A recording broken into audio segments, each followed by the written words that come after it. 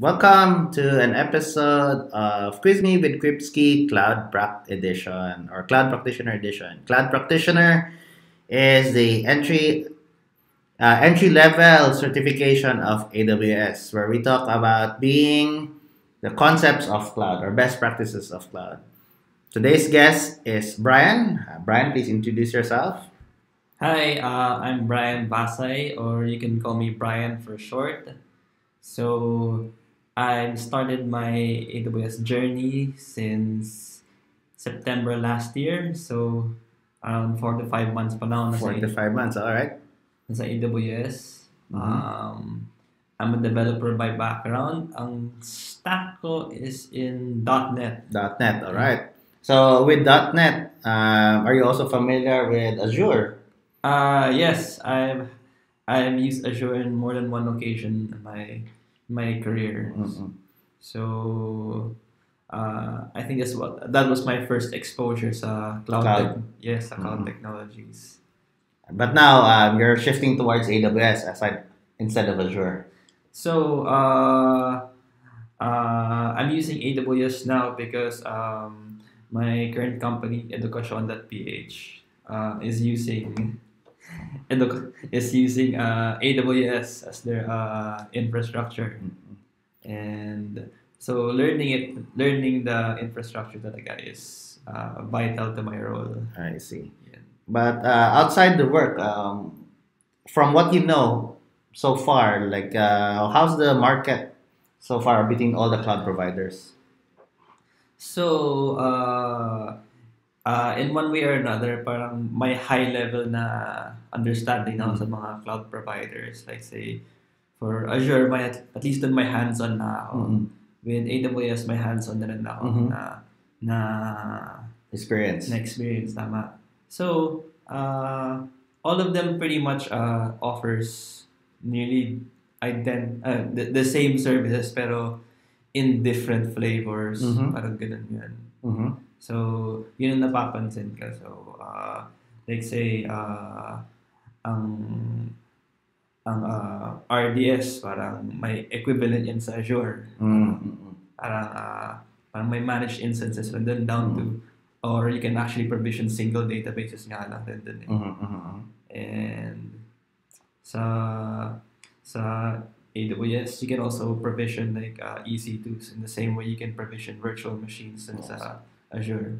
So practically the same. That is- almost almost the same pero like implemented differently lang talaga And so um, now that you're a cloud practitioner, what's next for you? So I am already uh, uh, studying for my SAA. I've tried it once. Mm-hmm. Wow. Okay. Yeah, failed Failed. Ah. by a very small margin. By a very small margin. Yes. So now I'm uh, I'm on track to retaking it again. All right. Yes, soon. Soon, soon. Soon. Okay. All right. Okay. So now we um we have our questions for you, cloud practitioner questions, not the SAA. So this should be uh, answerable. Okay. All right. Okay. Let's see. It's been uh, five months. So let's see. All right. All right.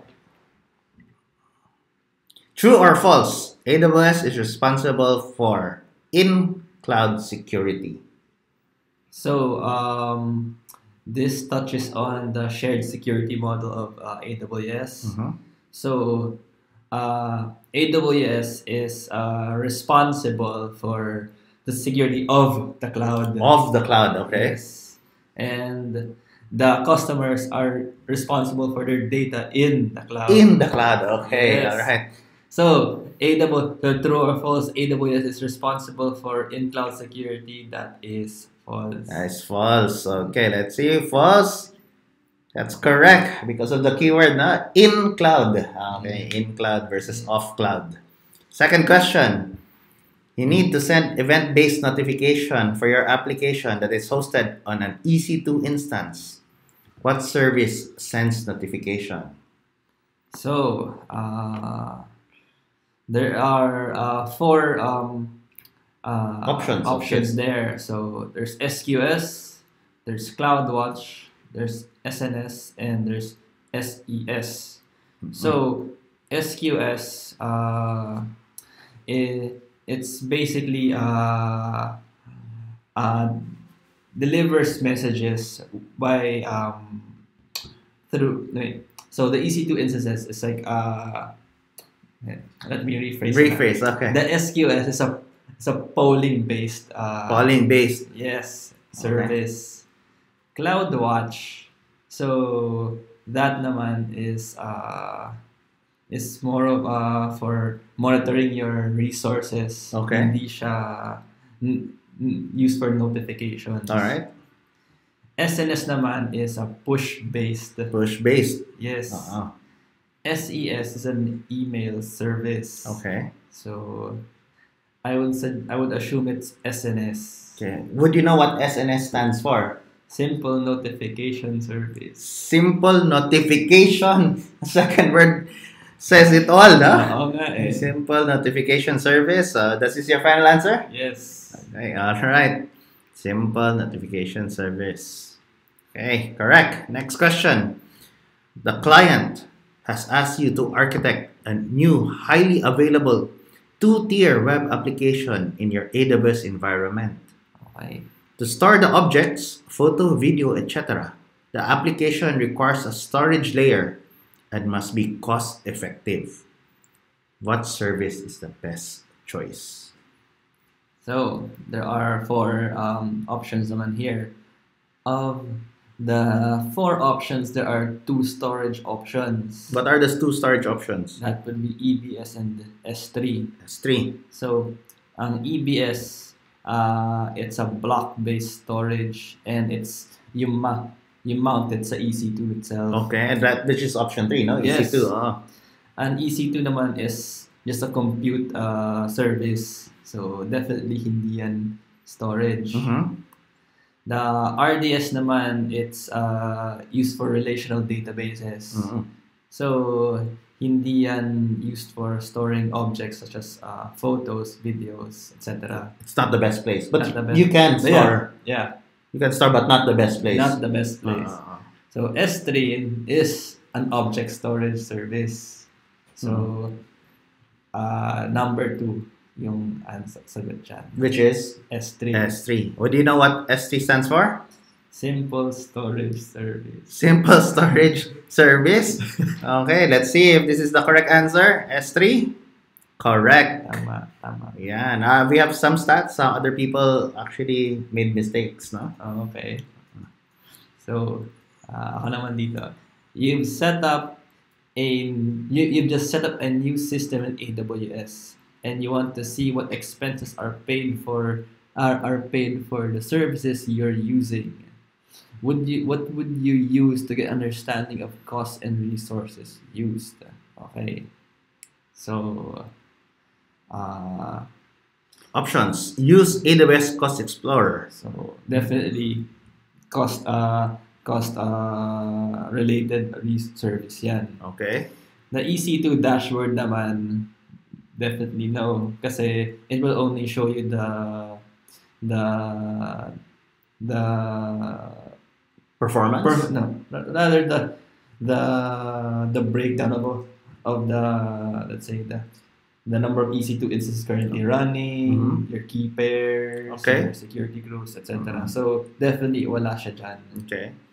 CloudTrail logs naman, it just shows their uh, parang audit trail yung nangyayari Mhm. sa sa AWS console mo. Mhm.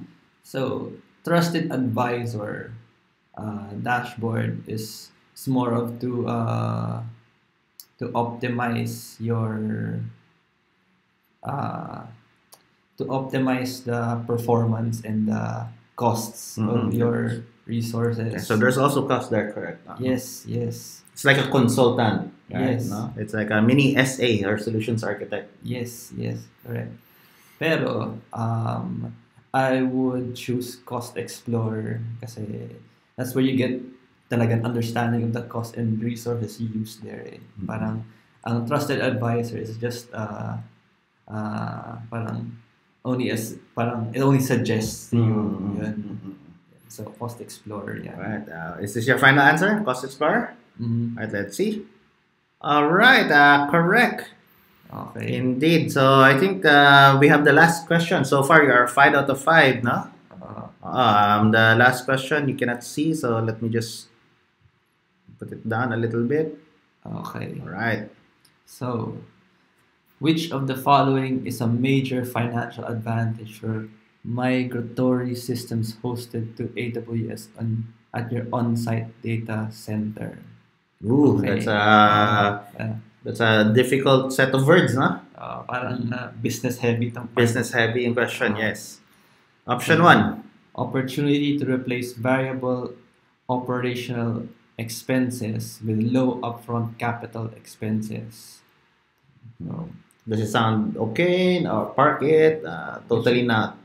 so um, ang question dyan kasi is which of the following is a financial advantage Mm-hmm. of uh, systems hosted in AWS Mm-mm. uh, versus uh, Versus on-site. Yes, versus on-site. Okay.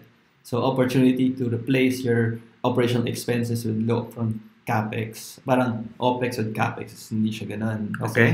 uh, hosting your systems on AWS actually uh, uh, reverses that. Okay. You you change your capex to OPEX. Mm. Yan. So option one is uh, eliminated. Uh, eliminated. Okay. Option two. Opportunity to replace your upfront operational expenses with variable opera- ca- operational expenses.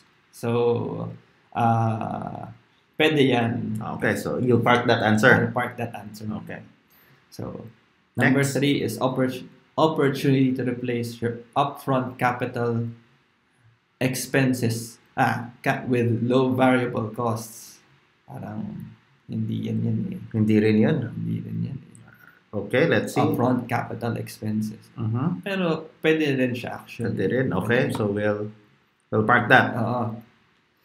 So, opportunity to replace variable capital expenses with low upfront costs.